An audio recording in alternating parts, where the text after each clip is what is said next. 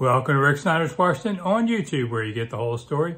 So please like, share, subscribe, comment, and even hit the thanks button. Well, the Washington Commanders got their man. Eric Bieniemy is now the offensive coordinator and assistant head coach. It made me think, I thought Jack Del Rio was the assistant head coach on the defensive side.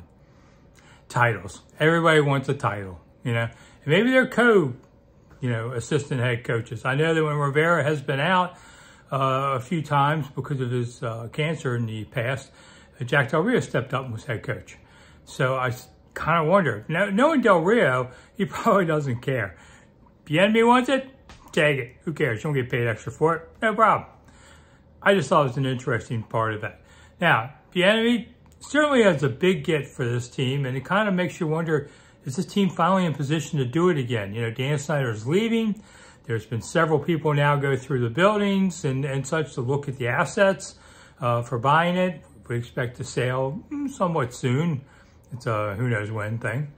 And, you know, there's some optimism around the place that finally the dark ages are over and this team can go get decent people again. So this is a good get for them getting Bieniemy. Um, maybe he's only here one year and he clean house and whatever, and he got his title and he got a chance to show what he can do with an offense. It also makes me wonder what are they going to do to to handle this now that they have him. Are they going to go get a quarterback? You know, are they going to get some of those free agents the Chiefs have? Uh, I wouldn't mind them. Uh, you know, they need a tight end, and they could get one in the first round, but that's me pushing it a little bit. But if it's a great tight end, you go for it. I'm not sure the Notre Dame kid is yet or not. Something to consider.